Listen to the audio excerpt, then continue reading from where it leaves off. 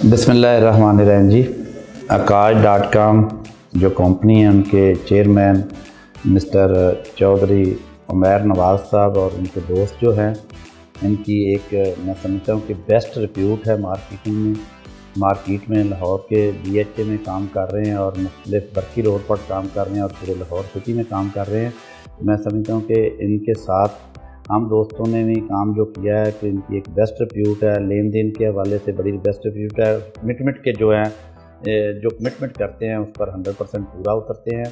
तो मैं समझता हूँ कि ये आस्ता आस्ता जिस तरह इनके मुल्तान में भी प्रोजेक्ट चल रहे हैं, इस्लामाबाद और पिंडी में प्रोजेक्ट चल रहे हैं तो चौधरी अमेर साहब का जो प्लान है नेक्स्ट आने वाले वक्त में, ये पूरे पाकिस्तान में इसी तरह ही काम करेंगे। कोयटा में भी इनका प्लान है काम करने का।